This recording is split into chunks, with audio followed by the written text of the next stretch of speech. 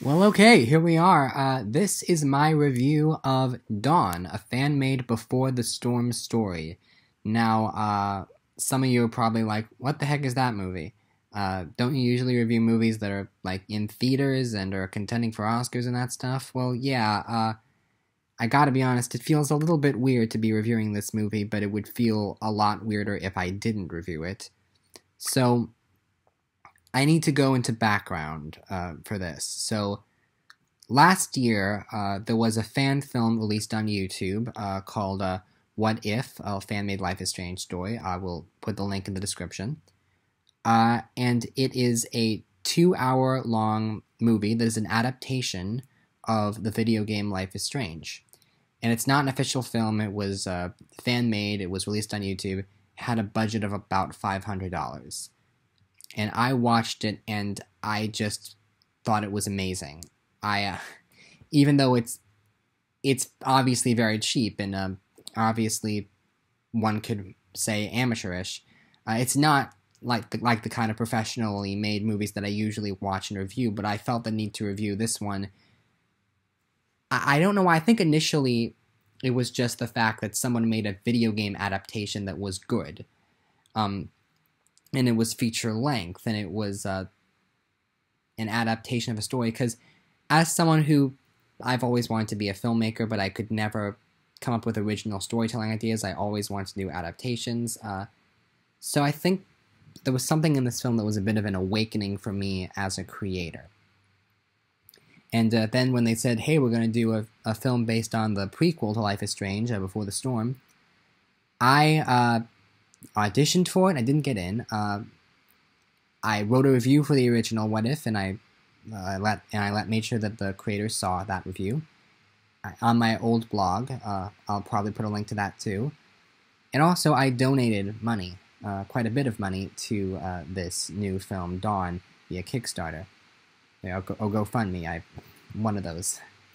I'm, I'm just flustered a bit because um, they saw like how much I was supporting uh, their films and their production company, and they were very grateful to me. And then uh, I started to get more and more involved with these guys, and I started to watch their monthly uh, live streams. Uh, and eventually, I got to the point where I, they knew who I was, and long story short, when this movie premiered, I ended up driving 10 hours to uh, Iowa to see this movie uh, on the premiere and to meet them. And there are pictures, and I got props. I got like I got like special incentives because I donated. I got a copy of the script. I got a full poster that's signed. So, in summary, I am hella biased towards this movie. I will just straight up admit that from the beginning. Um, these people, Shelby Davis, Carson T. Morrissey, uh, I know them.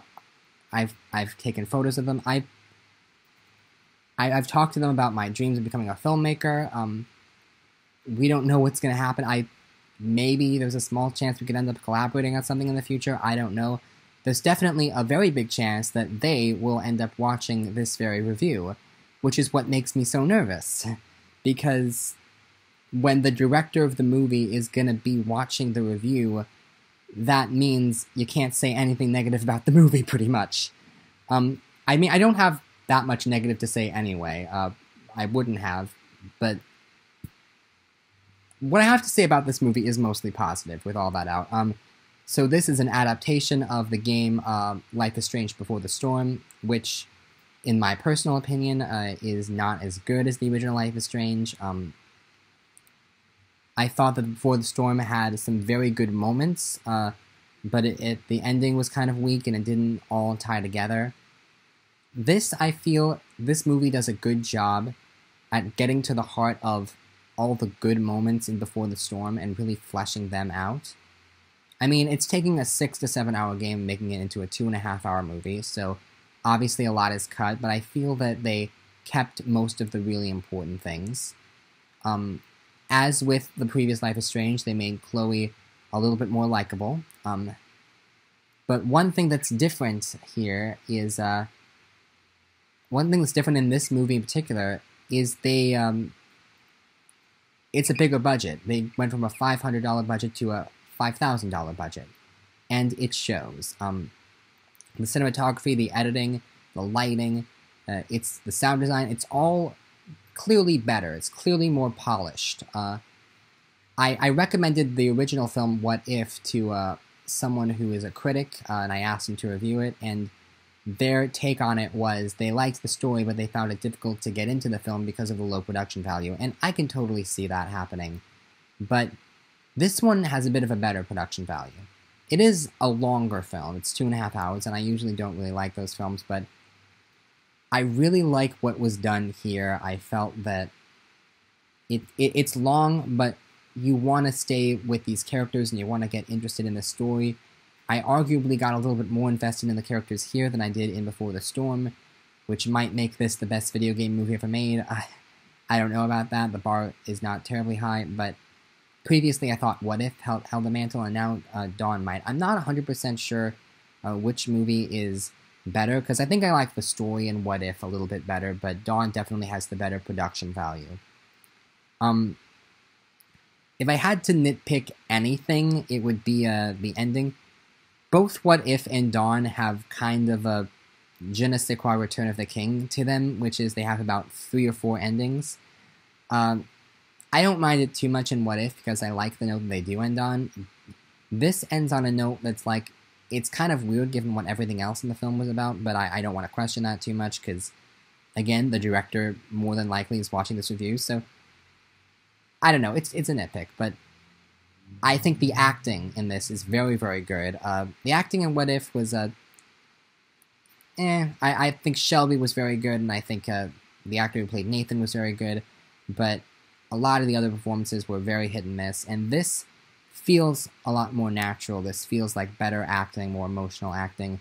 I bought Peyton Knight and Cass McMullen as uh, Rachel, uh, uh, James Cody uh, as Damon. very, very intimidating performance which was funny because my mom and I, my mom attended the premiere with me, and she was closing her eyes during all of Damon's scenes. She's like, "This guy is scary. Uh, this guy is going to give me nightmares." And then as soon as the movie was over, she's having a lengthy conversation with the actor who plays Damon. He's like, "Oh, how really? How was that? I was so." It's one of those surreal uh, experiences uh, that you don't get too often in your life.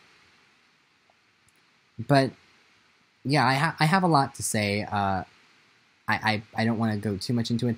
As someone who is a big fan of Life is Strange, uh, the first game genuinely changed my life and changed the way I interact with other people. Uh, it, it, it will forever hold a special place in my heart. Uh, and now we got this, which uh, might be. I think it might be better than the game, uh, Dawn. And that's a bit of a, a crazy thing to say, but I think Before the Storm had a lot of problems, and Dawn it knew what to keep and what to and what to cut, very much like What If. Um, the editing, the, the costumes, it, it was it's all very very well done. Maybe not quite to the level that you would see it in a theatrical film, but I'm definitely going to keep uh, an eye on Carson T. Morrissey. He's a director that I think a lot of people should be keeping an eye on because he said that he's gonna move past this. Uh, he's gonna move past Life is Strange, which in a way is a shame because I'd really like to see how Carson's style would work with Sean and Daniel's story of Life is Strange 2, but uh, that game's not even out yet. So, I mean, I mean, we only got the first episode, but I loved the first episode so much. Getting off topic, um, he's gonna do a lot of original content, and that makes me happy because. Uh, previously with his Life is Strange movies, he can't really submit that into film festivals. And now uh, he's going to do stuff that hopefully will get submitted into film festivals. And maybe one day he might make a film that gets released in theaters or at least plays in LA for a week or whatever the qualification is to be one of those movies that is eligible for awards consideration. Because if that happens, I'm cheering for him all the way. I think he's a great director, and I, I'm really interested to see how things go for him. I swear I'm not just saying that because he's probably gonna watch this. Oh my god, I sound like such a suck up right now. I'm sorry. Um, I'm just. It's like I, I'm trying to be honest, but at the same time, I'm acknowledging the fact that he's gonna see this. Um, or maybe he won't see this. I, I don't know. I.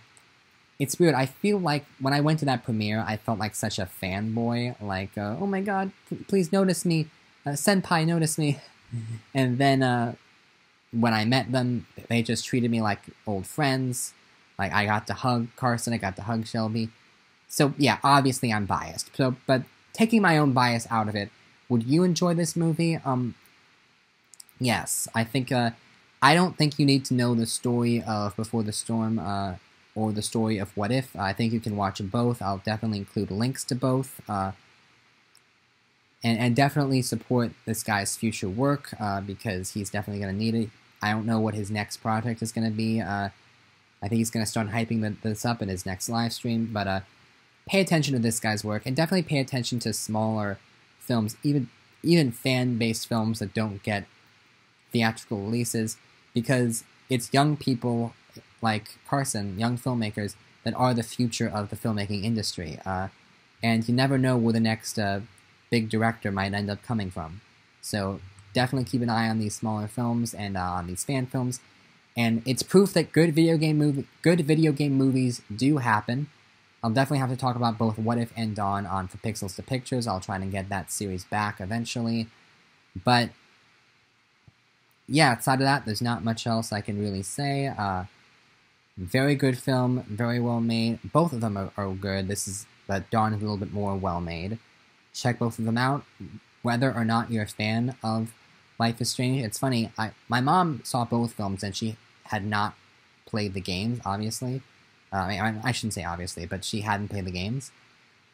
And it's interesting to see how she was able to connect with the characters on an emotional level despite never having played the games, and that's the mark of a good adaptation.